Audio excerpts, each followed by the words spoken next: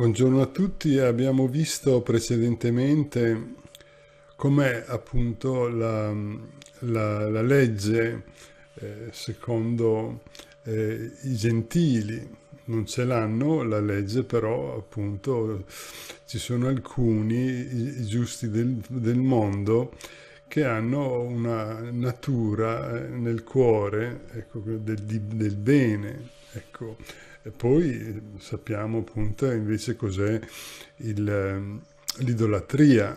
Ecco lì abbiamo visto ancora prima che c'era di tutto, ecco, l'uomo diventa una bestia, ecco. Però mm, Paolo, che appunto era di, di Tarso e parlava greco, conosceva appunto i gentili perché era, era nato appunto a Tarso e, e quindi si, si, può dire che li conosce. Ecco. E qui però, qui eh, eh, vediamo appunto i giudei che invece si riposano sulla, sulla legge e poi appunto a volte molti, ecco come vediamo anche nel Vangelo, erano guide eh, di ciechi, ecco, ciechi e guide di cepici. Il Signore appunto delle volte sgridava i sogni sacerdoti, gli scribi, eccetera, perché eh, sapevano la legge e lo vediamo anche qua, lo vedremo, e però non la mettevano in, in pratica. Ecco, leggiamo la prima parte, dopo parleremo della circoncisione. Ora sei sei tu che ti vanti di portare il nome di Giudeo e ti riposi sulla legge e ti glori di Dio. Ne conosci la volontà e istruito dalla legge sai discernere ciò che è meglio e sei convinto di essere guida dei ciechi, luce di coloro che sono nelle tenebre educatore degli ignoranti, maestro dei semplici, perché possiedi nella legge l'espressione della sapienza e della verità della legge. Ebbene, come mai tu che insegni agli altri non insegni a te stesso? Tu che predichi di non rubare, rubi. Tu dici non commettere adulterio, sei adultero. Tu che detesti gli idoli, ne derubi i templi. Tu che ti glori della legge, disonori Dio trasgredendo la legge.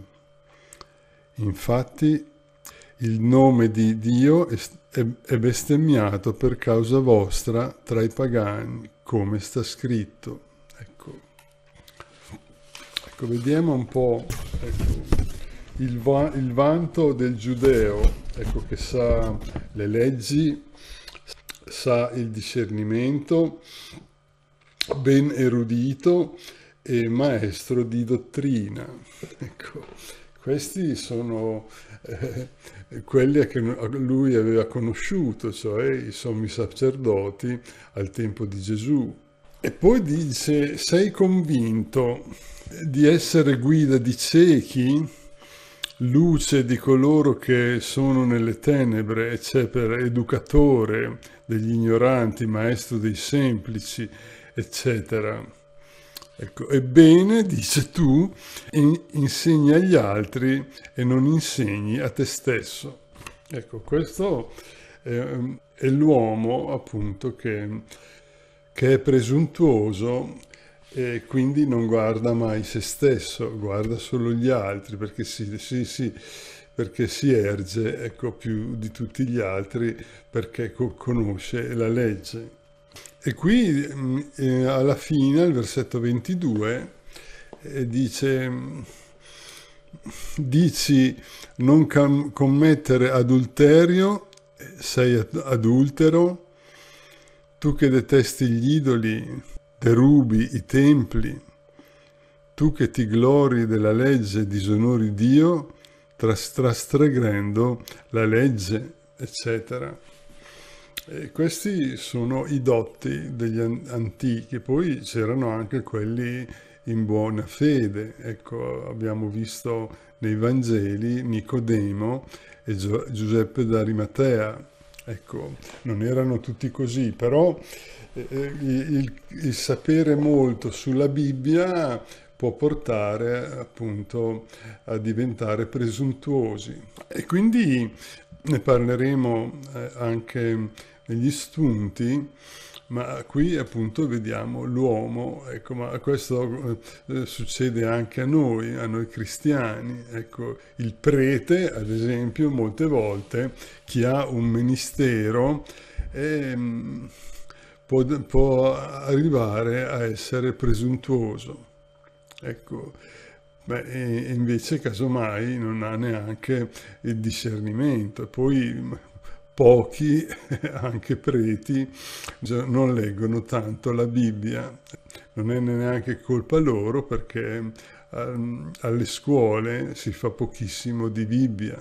Ecco, quindi um, tanti preti poi vanno in crisi perché appunto gli manca il, il pane quotidiano che è il Vangelo. Ecco.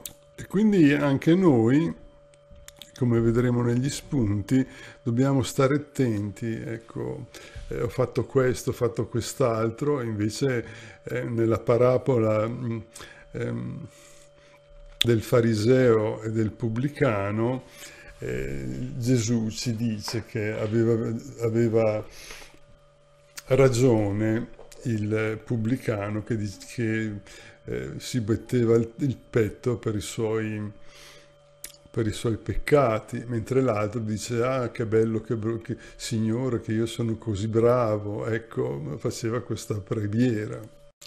Ecco, ehm, alla fine ehm, San Paolo ecco, dice, infatti, eh, giudeo non è chi appare tale all'esterno, e la circoncisione non è quella visibile nella carne, ma giudeo è colui che lo è interiormente, la circoncisione è quella del cuore, come diceva Mosè.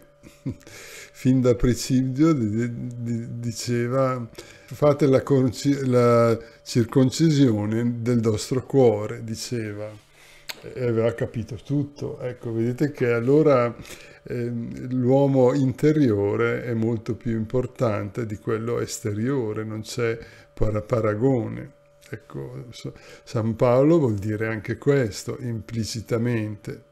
E poi dice nello spirito e non nella lettera. Ecco, non, eh, vuol dire mm, eh, nello spirito in ebraico eh, vuol dire mm, la mente, il pensiero ecco, che poi si mette in atto e non solo la, let- la lettera, se no eh, vuol dire che qualcuno ecco, che pensa di essere pio ecco, esternamente si sbaglia. Ecco. Eh, e questo è un grande eh, errore che facciamo anche noi tante volte. Ecco, tanta gente che va a messa tutte le le, le domeniche mm, per farsi una facciata. Ecco. E invece dice alla fine la gloria appunto dell'uomo interiore che è veramente eh, pio ecco, non viene dagli uomini ma da Dio. Ecco, guardiamo qualche spunto. Il vanto del giudeo, ecco la presunzione, ecco, l'abbiamo già visto che si crede dottore della legge e poi non mette in pratica, quindi vuol dire che non l'ha capita e non la vuole eh, alla fine. Ecco. E, ehm, e, questo appunto è il, è il pride, ecco, eh, diciamo così, eh, di tanti religiosi, ecco, perché hanno un vestito, ecco, da religioso, pensano di essere dei grandi maestri, ecco, invece casomai eh, sono quelli che eh, Paolo ci ha fatto vedere, ecco. E poi mh, mm, eh, Giovanni Battista dice, e non, non crediate di poter dire fra di voi, abbiamo Ab- Abramo per, per padre. E Giovanni Battista gli dice, vi dico che si può fare eh, sorgere figli di Abramo, Dio lo può fare da queste pietre. Ecco, Matteo 3, 9. Ecco, vedete che allora l'uomo di facciata non conta niente proprio. Ecco, non, non conta niente. È una parabola, è una parabola di uomo. E poi c'è anche um, un passaggio che vi volevo far leggere appunto di un salmo dove ci, ci fa vedere appunto questi personaggi. Il Salmo 49, 50, leggiamo. All'empio dice Dio, perché vai ripetendo i miei decreti e hai sempre in bocca la mia alleanza? tu che detesti la disciplina e le mie parole te le getti alle spalle? Se vedi un ladro, corri con lui e degli adulteri ti fai compagno. Abbandoni la tua bocca al male e la tua lingua ordisce inganni. Ti siedi, parli contro il tuo fratello, getti fango contro il figlio di tua madre. Questo hai fatto e dovrai tacere Forse credevi che io fossi come te? Ti rimprovero, ti pongo innanzi i tuoi peccati. Capite questo voi che dimenticate Dio, perché non mi ediri e nessuno vi salvi. Chi offre il sacrificio di lode, questi mi, mi onora. A chi cammina per la retta via, mostrerò la salvezza di Dio. Ecco bisogna stare molto mm, ehm, in guardia a non, a non cadere in questo errore, perché poi perdiamo tutto, eh? Diventiamo peggiori di quelli che non vengono a messa. Cioè l'uomo che di facciata eh, diventa appunto un, un essere che presuntuoso che non si guarda mai dentro e, e diventa come i sacerdoti al, al tempo di Gesù, i farisei, ecco.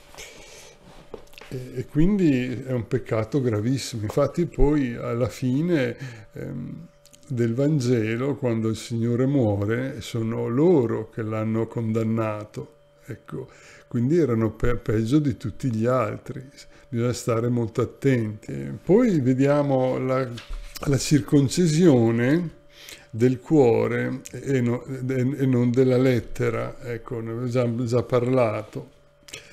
Ecco, San Paolo dice, ma i giusti del mondo ci superano, in pratica dice così, e ci passano davanti. Ecco, perché poi in un altro passaggio eh, Paolo dice che la cosa più importante è essere nuova creatura. Ecco, è la cosa più importante perché saremo eh, vagliati nell'uomo interiore e non nell'uomo esteriore. Ecco.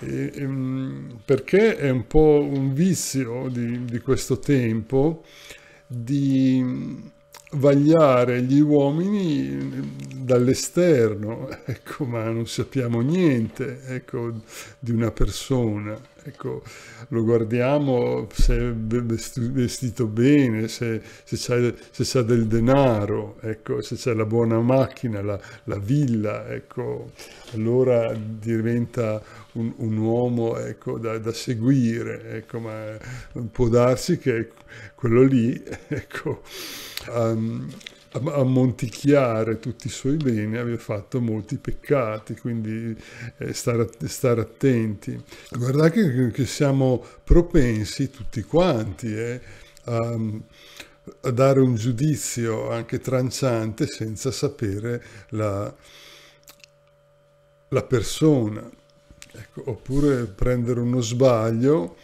e stare con il più forte, anche questo è, molto, è, un, è un, errore molto grave, ecco, solo per la forza. Ecco. Quindi bisogna stare molto, eh, molto attenti perché eh, si perde tutto. Eh? l'inferno c'è. Ecco, quelli che hanno ucciso il Signore, dove volete che siano, sono all'inferno ed erano dei religiosi, eh? attenzione. Ecco. Adesso vi leggo lo, mm, cosa dice Paolo dell'uomo interiore. Dice, per questo non ci scoraggiamo, ma se anche il nuovo, il nuovo uomo esteriore si va disfacendo, quello interiore si rinnova di giorno in giorno. Infatti il momentaneo leggero peso della nostra tribolazione ci procura una quantità smisurata di eterna gloria perché noi non fissiamo lo sguardo sulle cose visibili, vedete? La facciata, ma su, ma su quelle invisibili le cose visibili sono d'un momento, quelle invisibili sono eterne, vedete? Allora c'è un grande scarto tra ehm, appunto l'uomo esteriore e quello interiore, lo vediamo qua. Eh, c'ha delle parole, da San Paolo eh, dice appunto ci procura una quantità smisurata ed eterna di gloria e invece gli altri, ecco, quelli di, di facciata, sono quelli che vogliono il plauso della gente. Ecco, noi avremo un plauso molto più grande, una gloria, dice addirittura San Paolo. E parla appunto in tre volte, lo dice nelle sue lettere, il nostro uomo esteriore si va disfacendo quello interiore si rinnova di giorno in giorno. Ecco, sappiamo che invecchiamo e quindi è stupido eh, mettere tutte le, le energie ecco, sull'uomo esteriore. E invece per prepararci a entrare nel paradiso, nella casa del Signore, dobbiamo curare, come dice San Paolo, appunto, l'uomo interiore. Ecco perché saremo eh, giudicati proprio in quello. Pace bene a tutti e buona giornata.